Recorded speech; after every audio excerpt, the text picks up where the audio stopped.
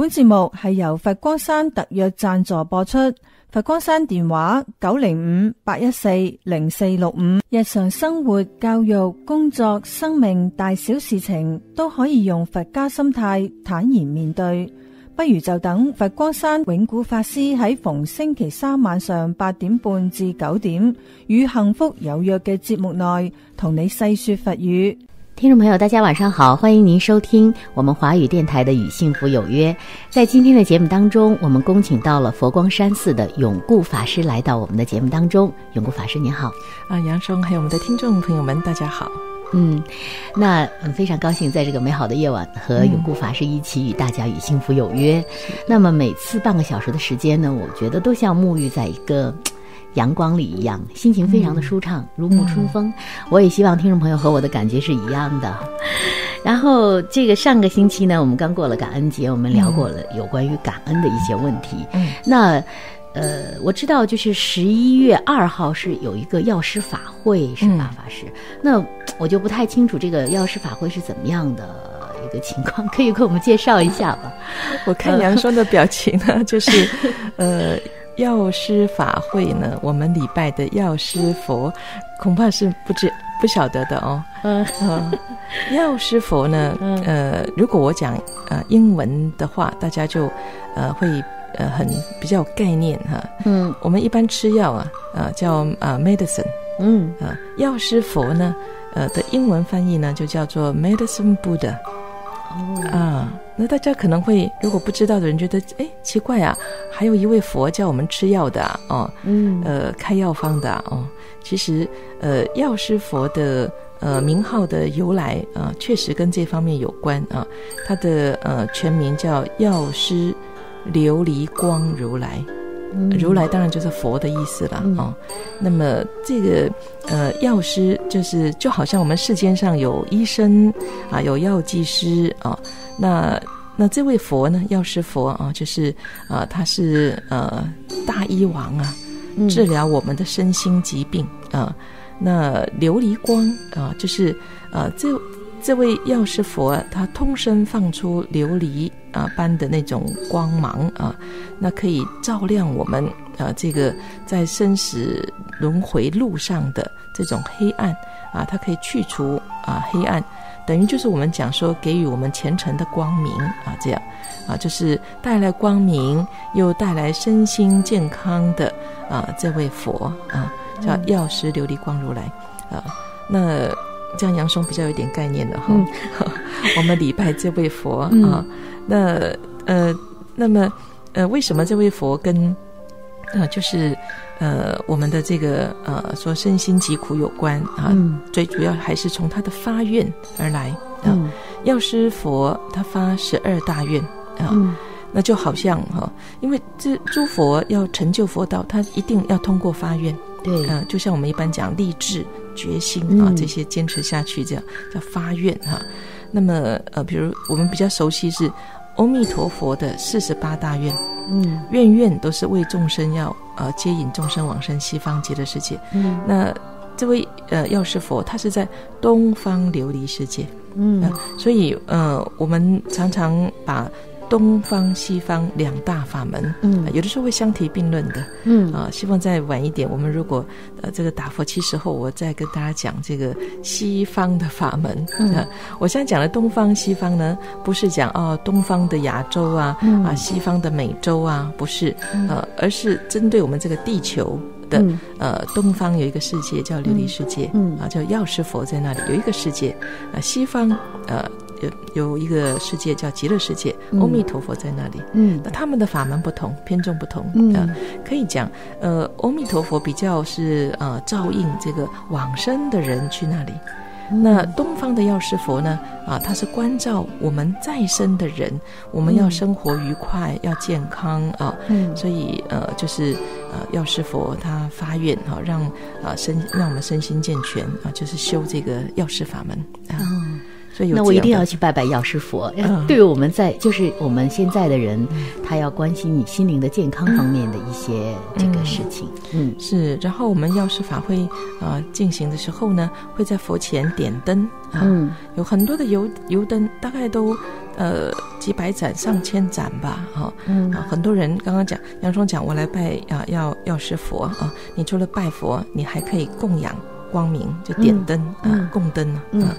那这个点上这一盏灯，供在佛前啊，那祈求自己的啊身心健康、前途光明，这样啊。所以这个法会呢，呃，十一月二号早上十点啊，大约到下午的啊五点左右啊。嗯那这样算上下午算一天的啊法会，那么都是在诵药师经啊啊药师经，然后拜愿，拜愿就是拜佛、礼佛发愿这样。嗯哎，那这个呃很多信徒呃一年之中呃很期待的呃就是这药师法会哈、因为他会觉得这一年之中我要得到这样的加持啊，嗯就像呃前几天呃一位呃也是我们国内的太太啊、那么虽然我们第一次见面，但是他他特别是为他的女儿啊、来问，他说他女儿要考试了啊，他呃就很很紧张，替他这个很关键的考试哈、嗯那么就就说啊，法师啊，你加持他吧，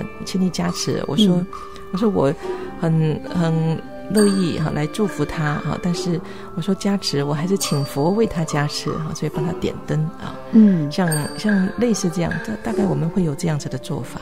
嗯，像刚才师傅讲的，就是呃，我们会在是在佛光山寺，对不对？十一月二号，十一月二号呢是一个星期六，我们会从早上的十点开始有这个活动，到下午的五点，大概是持续一天的时间，就是有这个叫呃药师法会。像刚才师傅讲这个。呃，刚才师傅讲了两个，就是一个这个我们东方的这个药师佛是啊，关注我们在世的人的这种心灵啊、身心身心健康的哈嗯。啊，那个如来那种那个弥勒呃佛呃，极乐极乐佛。是呃，阿弥陀佛，阿弥陀佛。极乐世界的阿弥陀佛嗯，是关注往生的人哎的西方的那种。哎，我也知道一些概念。啊，大家也可以做一种理解哦，就是嗯。比如说太阳啊，旭日东升，嗯。升起，嗯好，像一天的开始也是生命的开始。对，啊，那就是东方药师佛，它嗯跟我们生有关嗯啊。那夕阳西下嗯啊，这个从西方落下去了，好像嗯一天的结束啊嗯。那也是代表着，当生命结束的时候，就在西方极乐世界了。嗯，这样嗯还可以用太阳的呃旭日东升啊、夕阳西下，嗯可以做这样子的一个呃、记忆跟理解。对，所以说像药师佛他会发愿一样哈，我们嗯。在这个十月二号这个药师法会这一天呢，大家也可以去去去点一盏灯，嗯，哎，就是哎许一下自己的愿望，嗯。其实嗯、如果我再讲嗯。呃药师佛的发愿的一个啊、嗯就说修药师法门的一些典故的话，我相信、呃可能我们听众朋友们会更加哦希望呃不要错过哈。嗯。呃，不过要一点时间，我想我们可能会跨到这个上下半段的嗯，呃这个节目哈，嗯我想没关系吧？没关系没关系，对。嗯，就是嗯，在大师的就星云大师的著作之中，有一本书啊，叫《玉林国师传》。嗯。哎，那《玉林国师传》曾经呃几次都被呃有的拍成呃戏曲，有的拍成电视剧，嗯。拍成电影都有嗯嗯。啊、又又再重新再拍啊、都有，可见这个故事是非常呃就是吸引人的。嗯。它非常戏剧性啊、呃但实际上是真实的故事嗯。啊、就是在清朝的呃呃有一位呃法师，他叫玉林法师啊、嗯。那那么他因为是皇帝呃就是礼请他当老师，所以、呃就是成为国师啊、嗯。但是他的他个人有什么故事呢？嗯。就是呃他自己的这个过去生呃嗯。从他过去生是一个也是出家人呐、啊，嗯。那这个出家人呢，他很有学问，写着一手好字，嗯。可是呢，那个相貌的那种丑陋哈、嗯跟他的身体哈、是呃驼背的，是、嗯呃手就是脚好像跛脚这样哈、嗯就行动不便哈。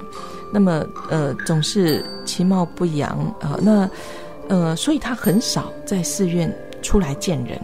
嗯，他就是比较做那种文书在幕后的。嗯，但是当时的呃这个呃就是宰宰相的千金啊，他要到寺院去，啊这个就是呃就是去呃共生去呃礼佛这样。嗯。然后就看到那个寺院的字好美哦，好，那呃他就问，哎呀，嗯，这些字写在这里是哪一位师傅的哦？啊，当他们讲哦哪一位师傅，我可以见见他吗？嗯啊，哦，这四方就帮他拒绝了，因为他有有讲过他不见人的，不想见，不想见啊，见了好像给人家呃差不多就要惊吓。啊，就觉得哦，我是这么漂亮的，反正字啊那么漂亮，见了人反差太大，哎，会吓到人的哦。那后来那位呃千金就想了一个办法，他说：“那我要共生，我要亲手布施，就每一位。他算好你有多少个啊出家人在这里，我就是要这样。他其实就想见他一面啊，那么就没有办法，因为当要应供的时候，我们的确是要亲自接受供养的，嗯啊，所以他就那。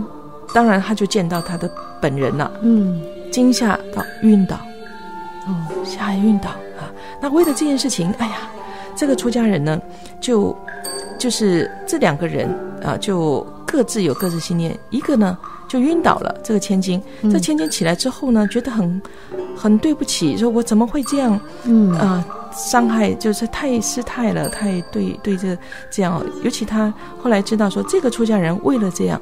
差点要自杀，呃，当时的玉林国师的前身啊，说他也是受了很大的打击。嗯，他说我果然是不值得再活在这个世上，我这长得像鬼一样的啊，所以他要上吊。那一晚啊，他的师傅知道他有可能会做傻事，所以就去就特别关注他。那知道他要这样做，就进去阻阻止他，就跟他讲说：“哎，你。”被这个身相啊所苦哈，那么你与其这样结束生命，你只有带着这个问题继续去投胎轮回。这个问题永远不能，因为丑陋有前丑陋的前因啊，嗯啊，那你你不如现在赶快来修药师法门，嗯，所以他的师傅教他，你拜药师佛。啊，你供养药师佛啊，那起码你可以修个来生啊，庄严啊，就这样啊。那所以当时的呃，这位出家人就没有自杀，开始很精进，就是修药师法门啊。好，那他是发愿修持药师法门。那另一方这位小姐呢，她发什么？她动什么念呢？嗯，她是想，呃，呃，哎呀，我这样伤害他。啊，弄到他差点就自杀，我对不起他啊！我发愿，我来生一定要嫁给他，弥补我对他的伤害。嗯，啊，两个人，一个是我更加精进修行，一个是我非嫁他不可。嗯，他们的上辈子就是这样。哦，我都听得入迷了，都忘记了。我们的节目呢要休息一下哈，一段广告之后继续我们的与幸福有约的与幸福有约的与。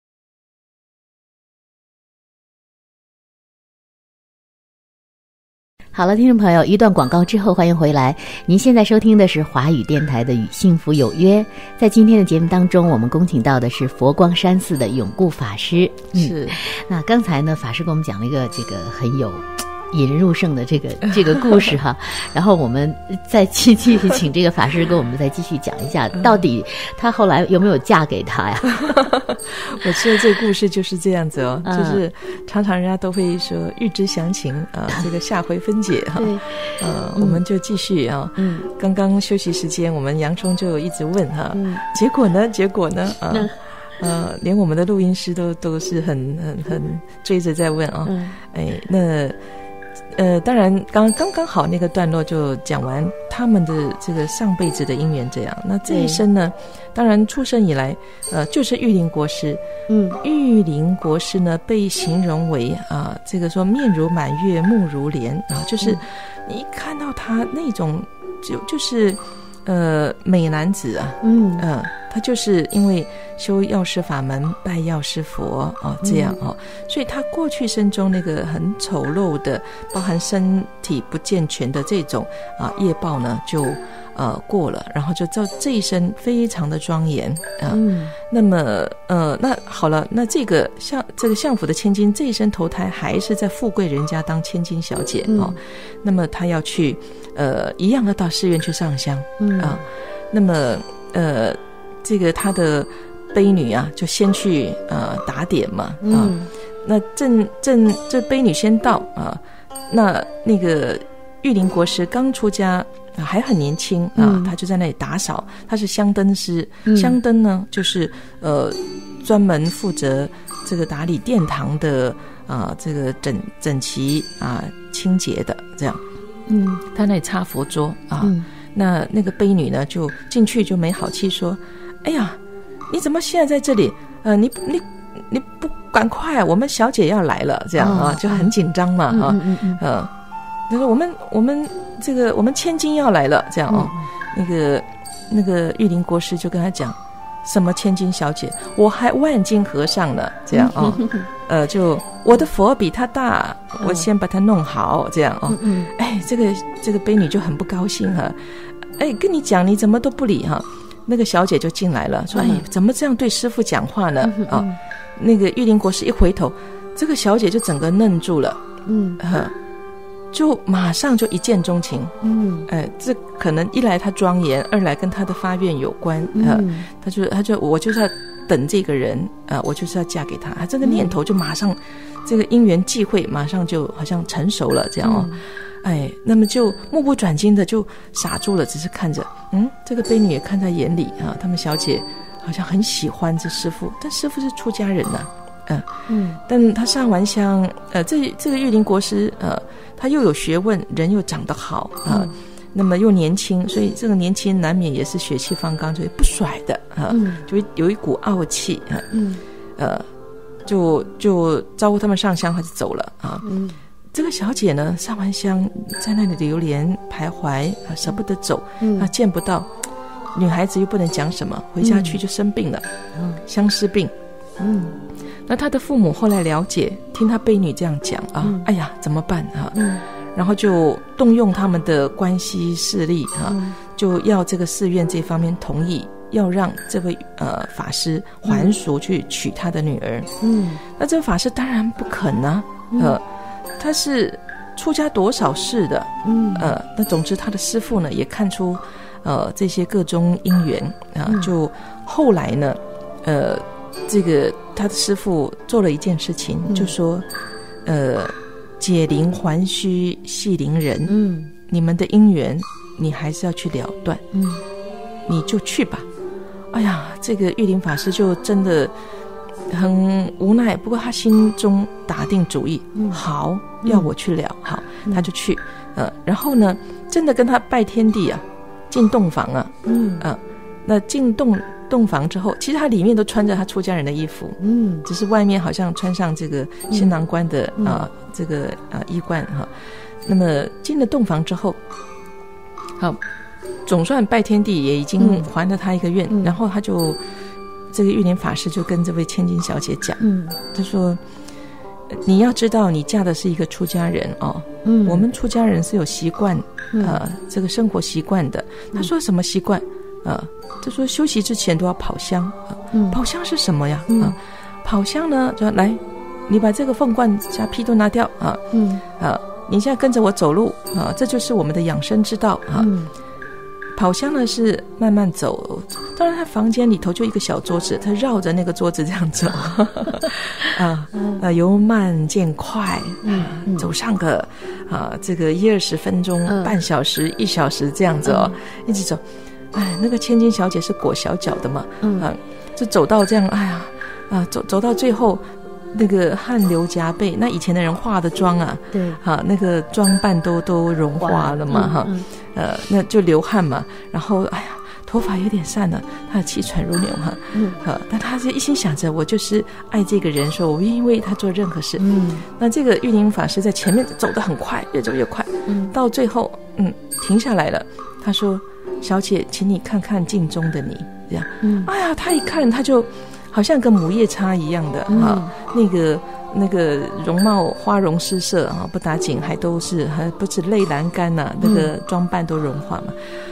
他很羞愧哈，他怎么这个样子让啊他心爱的人看哈？所以他这个时候为他说法，嗯，他说你爱的是我的表象，表象就如同你现在看到的，表象会变化，表象是无常的。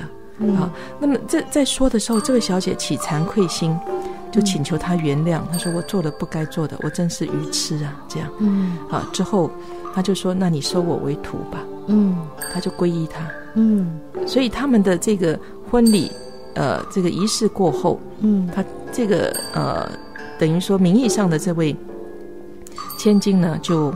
呃，同意他离开，回去做他的出家人啊，然后他也正式的学佛，嗯啊，那么就是当然，这玉林法师经过这一段，他更加觉得。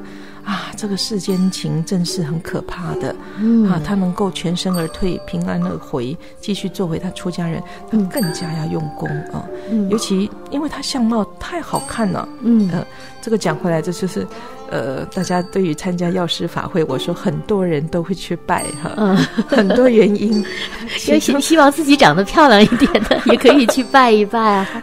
对，就是说不用去美容整容了啊。嗯，你只要礼拜药师佛。不过我我讲回来，那药师不玉林法师啊，玉林法师他就呃体悟到这个人世间呃的这些，所以他特别的用功，我们叫精进啊。嗯那么当然他的这个修行有成，最后就成为一代国师。嗯。那他自己也很感触，就是嗯，有句话讲“富贵学道难”，啊，就是因为他是在呃对。呃，这些呃王亲国戚这些贵族在说法啊讲经，但他们呢都是呃富贵中人呐，什么都有啊，享受一切啊。嗯，呃，要他们能够知道佛法的珍贵，真难呐。哦，哎，他们觉得他们什么都不缺，呃，觉得好像一切都是呃呃，好像呃自然应该这样子的哦，所以生不起那种学佛的心。嗯。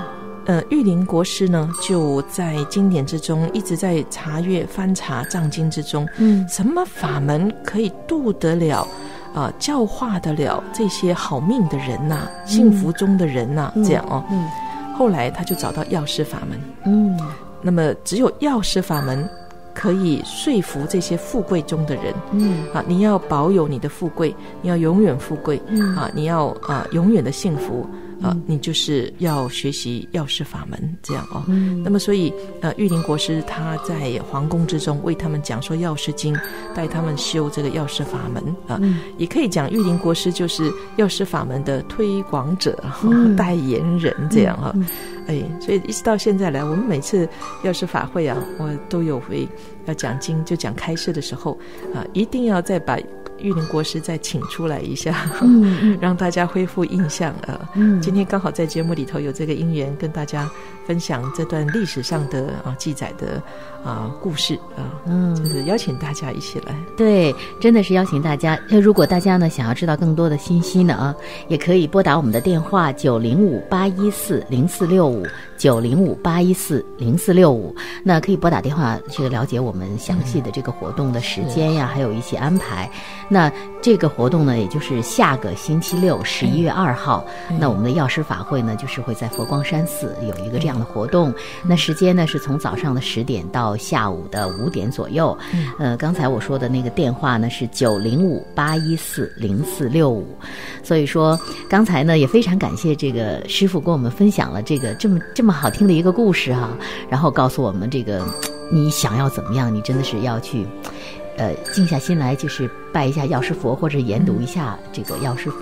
嗯，所以这个就像我这种没有没有慧根的人哈，没有这个，就是所以我就觉得，呃，听起来也是蛮有意思的。我觉得要是，我觉得就是作作为我们正常平常人来讲哈，就是希望。呃，自己或者家人都是身心啊健康啊各个方面哎平安啊，所以说呢，呃，大家呢有时间在下个星期六的十一月二号上午的十点钟可以到佛光山寺，哎，大家参加一下这个药师法会的活动。嗯，我我这样提这个故事哈，其实也希望各位可以明白，就是呃，凡事都有前因后果。嗯，呃，就是我们现在所承受的现有的。我们就这样的一个人啊，其实不是父母把我生成这个样子，嗯，呃，是我们自己的这个业力造作，在过去生中已经行为做下去了，嗯，产生一个后续的影响力，影响到我们这一生。当我们再来投胎的时候，就感得这样子的一个啊身心的状态啊，嗯，所以是我们自己呃招感来的。嗯我们自己造成自己这一生这个样子啊，嗯而不是父母把我们生这个样子。希望大家知道，呃，你不要，如果你对自己不太满意的话，不要责怪父母嗯啊、不是父母，父母只是帮助我们来到这一生的一个助缘。嗯那我们长成这个样子啊，啊，是自己好像下了 order，那你在上辈子呃下了订单，你这辈子来收获而已。对，所以说，其实我们有时候在平常生活当中说，哎，人的这个相貌是可以改变的，或者是人的这个呃怎么样怎样改变，关键是在于人的内心。其实你的修为，你的各个方面，就是不漂亮的人呢，他一样可以就是做得到，就是举止非常的优雅。你你真的，我觉得现在的生活当中会看到很多的人，他们其实长得。不怎么帅或者不怎么漂亮，但是呢，他的举止很优雅，心很好。心很好，哎。也会也会吸引你。师傅总是讲的重点，我总是讲的表象。我是举止很优雅，说心很好，确实是你的心地善良，你的嗯。这个脸真的会放一种光，一种很真的平和，不一样的。嗯，刚刚那个故事，如果大家有兴趣的话，我们图书馆有《在世情缘》的这个 DVD 可以去借阅，很好看。哦，对对，刚才师傅在这个节目的休息当中呢，啊，对我们讲到了这个在世情缘哈，大家可以看一下，是非常好看的一个故事哈。好啦，今天的节目非常的快，又到了和您说再见的时间了，非常感谢您收听我们的《与幸福有约》，也非常感谢法师来到我们的节目当中。谢谢嗯，谢谢谢谢，我们下周再会。本节目系由佛光山特约赞助播出，佛光山电话九零五八一四零四六五。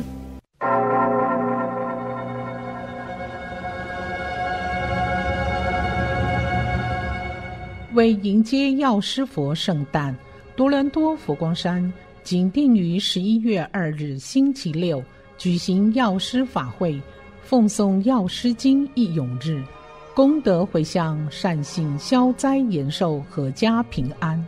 欢迎十方大众莅临参加。法会时间、功德登记，请洽多伦多佛光山九零五八一四零四六五。